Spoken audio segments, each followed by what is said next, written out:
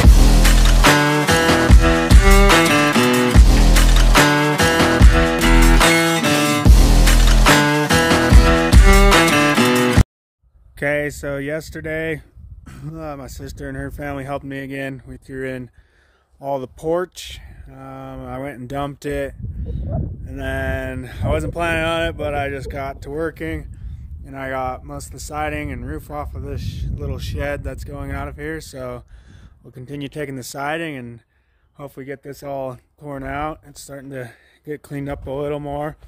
So there's the porch area, and then still kind of frozen on the skirting, so kind of got to wait on that still.